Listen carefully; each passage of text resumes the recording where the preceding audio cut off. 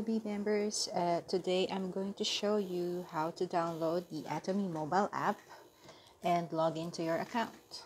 So first, let's go to our Google Play Store.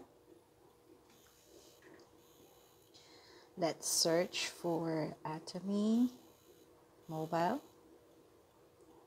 So you will see the official Atomy mobile.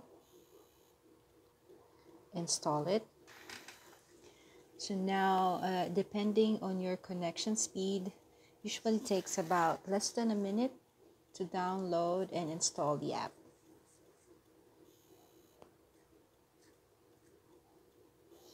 Okay, it's now installing.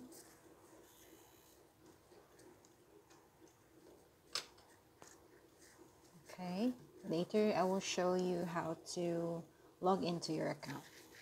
So now it's finished you should be able to find the app right there. That's how it looks like. So let's hit ok. Let's agree to the notifications. Let's allow this and this one. Let it load.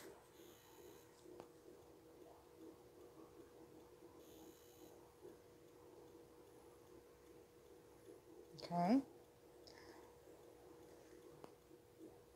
So now you should be able to find the login button right there. So let's log in. It will ask for your member ID. Just put in your member ID. And then your password. So you have the option to let the app remember your ID or keep you logged in. So it depends on your preference. You can choose. Let's log in.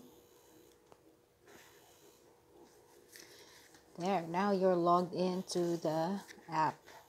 So now I will show you how to change the region if you want to check out other regions or um, not sure which region you're logged in. So you have to click on the hamburger button right there.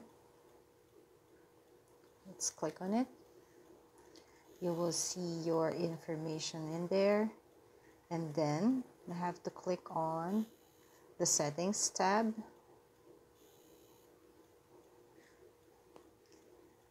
Here you will see the region and the language. So this is defaulted to the Philippines. Now, if you are from, let's say, US, you can change that. You can do it under US, Singapore, Thailand, Australia. And you can also select the language that you want there. That's it. So now you know how to download the app and log in and change the region. Till our next video.